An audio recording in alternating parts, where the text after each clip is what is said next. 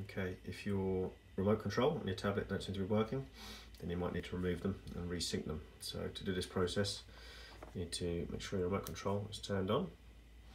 Just switch at the top, turn your tablet on,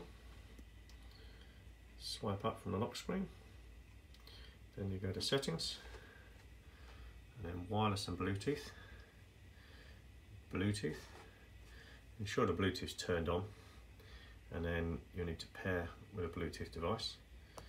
And then on the remote to set up Bluetooth hold down Bluetooth button until the blue light flashes on here. You should then see the keyboard listed in the devices that are found. Tap the keyboard it's going to pair connect connected. And now when I uh, wiggle the mouse got control of the machine. That's all working.